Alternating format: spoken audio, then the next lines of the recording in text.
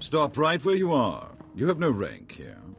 Etiquette dictates that no one below my rank is permitted within ten paces of my person without my express consent.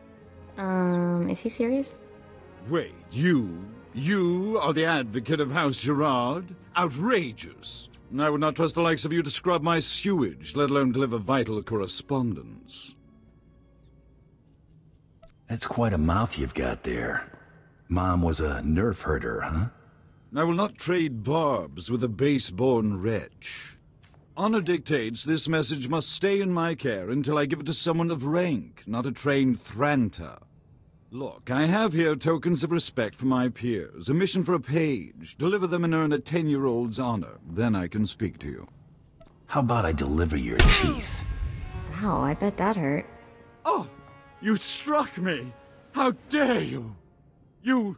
you... whatever you are, I'll see you slaughtered like an animal! What are you both waiting for? Pound this cur to the ground!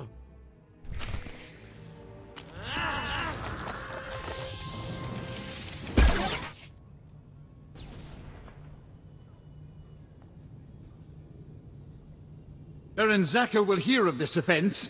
Enjoy explaining why my information will now go to someone else. I demand that you prostrate yourself and beg for mercy, or so help me, I'll have you brought before a tribunal for these grievous affronts. You're a slow learner.